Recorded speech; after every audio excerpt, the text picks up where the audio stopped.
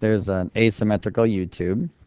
The uh, area on the left side here is 10 centimeters squared, and the area on the right side is uh, 5 centimeters squared.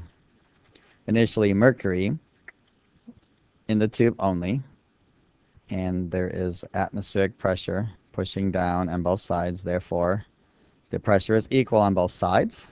Therefore, we have a level amount of mercury on both sides. A new condition here, add 10 centimeter high column of water above. That will force the mercury going to the left. We still have pressure of atmosphere pushing down on both sides. Our job is to figure out what's the new height here above that level line that was once there before. Well, we know if we pay attention to this line here, the pressures will be the same.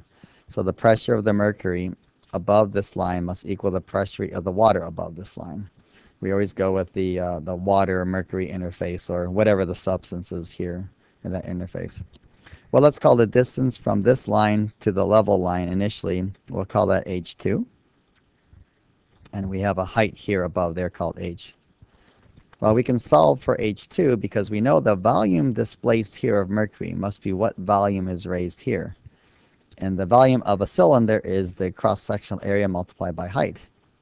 Okay, so I can then say area 1, which is 10, and multiply that by h.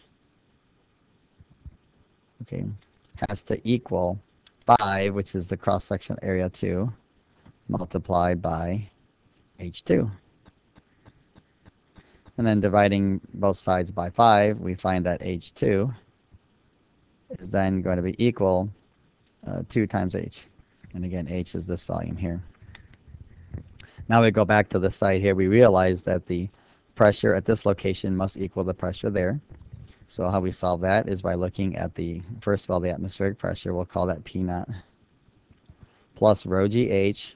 And this time I'll put 13.6 for the density of mercury multiplied by 9.8 times the height. Now we'll need to think about the height from here to there is h2 plus another h. So that would be h2 uh, plus h.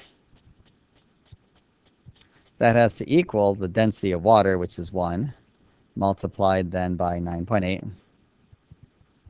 And we're going to multiply this by the height of the water column, which is 10. And of course, we'll add a, a pressure naught to that side because we have atmospheric pressure there. Now simplifying, we notice that the pressures will cancel out due to subtraction. And then once that's gone, the uh, 9.8s will cancel out by division. And we're left with 13.6 multiplied by, now we have h2 plus h, but h2 is twice h. So I'm going to plug 2h in there and add h to it, and that is uh, 3 times h. And that, of course, is going to equal then, I remember this is canceled out too, that'll equal 10. So then we'll take 10 divided by 13.6 and then divided by 3 as well. And height is going to equal 0.25 centimeters. And that's this height right here, 0.25 centimeters. And that's how we deal with uh, asymmetrical uh, U-tube.